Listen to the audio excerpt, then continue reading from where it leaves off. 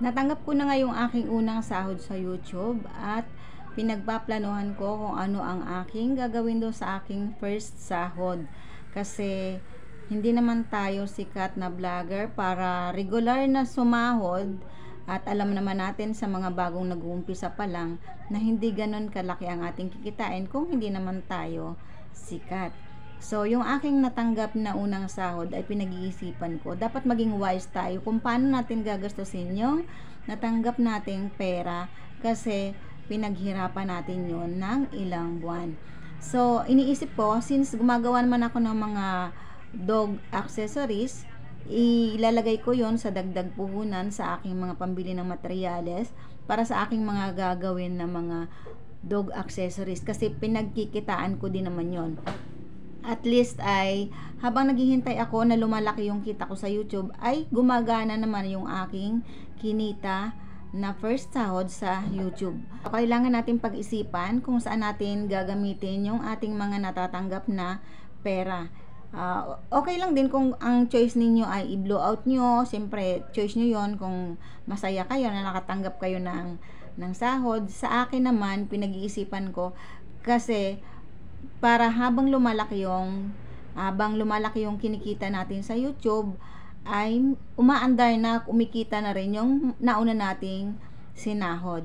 So, ganon ang iniisip ko, ibibili ko ng dagdag materyales doon sa aking mga ginagawang dog accessories kasi eh, nag uh, gumagawa ako ng mga dog clothes, mga accessories. So, bala ko na ibili ng materyales para sa aking mga ginagawa.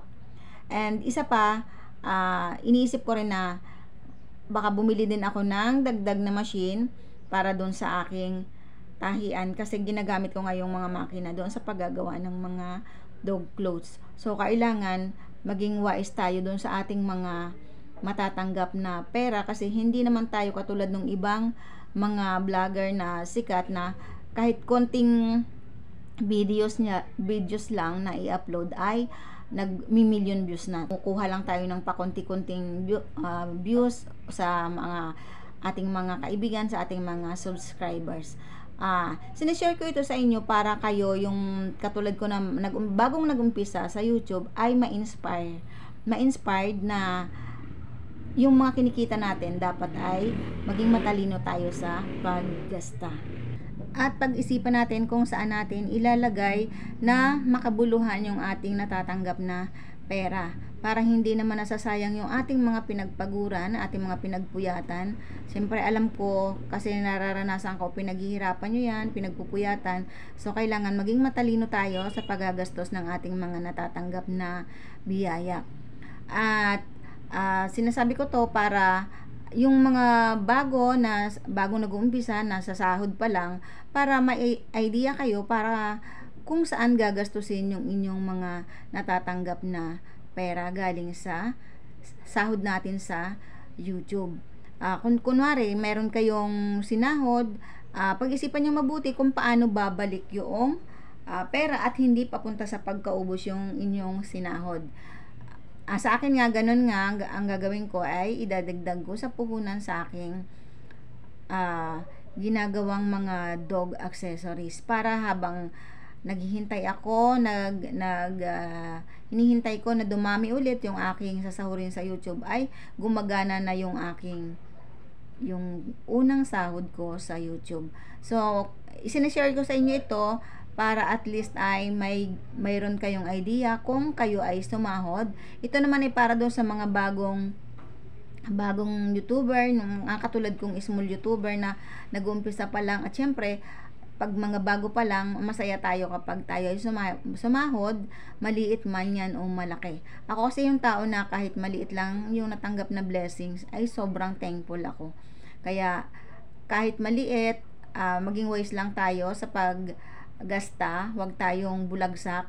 Pag-isipan natin kung paano isa-save yung ating pera o paano natin gagastusin yung pera na hindi agad mauubos at may babalik sa atin kahit papaano. And sa mga katulad ko na bago pa lang sumasahod, share nyo naman sa akin kung uh, ano ang balak nyo doon sa inyong sahod para naman magkaroon din ako ng idea kung paano ang aking gagawin sa mga susunod pang uh, sa, sa mga susunod ko pang sahod. Siyempre, para pag para magkaroon din naman ako ng uh, idea kung paano yung tamang gagawin.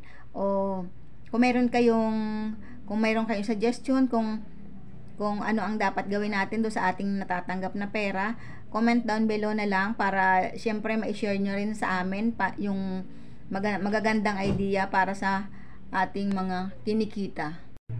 Yun lang guys at salamat sa panonood. Thank you for watching. At kung hindi pa po kayo nakasubscribe, please like, share, and subscribe to my channel and click the bell notification para updated kayo sa mga susunod ko pa mga videos. Bye!